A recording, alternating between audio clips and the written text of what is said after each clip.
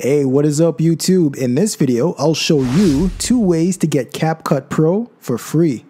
For the first method, download the CapCut app on your phone, launch it, ensure you're in the Edit tab, and tap New Project. Select the video you want to edit.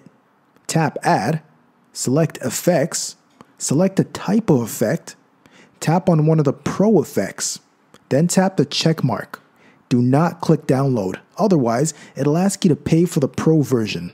Instead, tap the full screen option, swipe down, hit the screen record button, then press play. Once the video finishes playing, stop the recording. Go into the Photos app, edit your video, and crop out the play button. Now, when you play it, you'll have CapCut Pro effects without CapCut Pro prices. Thank me later. The downside of this method is you don't have the option of saving your videos in 4K. This is where the second method comes in. Method number two requires a computer, but you'll have the ability to actually convert your free account to a CapCut Pro account, thus allowing you to save videos in 4K without paying a dime. To start, navigate to the link in my description. Using this link will allow you to download and use CapCut Pro free for seven days. Once you've downloaded it, you'll be able to retrieve a link of your own that you can share with others. The more people you share this link with, the longer you can use CapCut Pro for free. Once it's downloaded, sign in with either your TikTok, Apple, Google, or Facebook account. When you're in, you should see an invite friends link or button on the left side of the app. Go ahead and click it.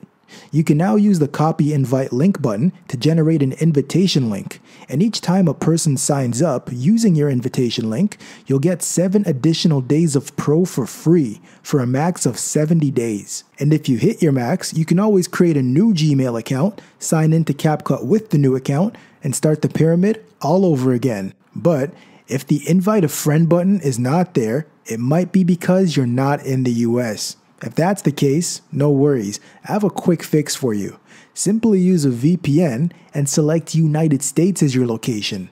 I have a link for NordVPN in my description, but if you want a free one, Proton VPN is a good choice. I'll leave a link below for that too. Once you've installed the VPN of your choice, launch it. Select United States as your location, then connect. Now close and reopen the CapCut app. You should now see the invite a friend button. There you have it. You now know how to get CapCut Pro for free. Thank you very much for watching my video guys. If you found this helpful, please click the like button. If you want to see more videos like this, subscribe by clicking my logo at the bottom right of this video. Don't forget to click the notification bell to be notified when I drop a new video.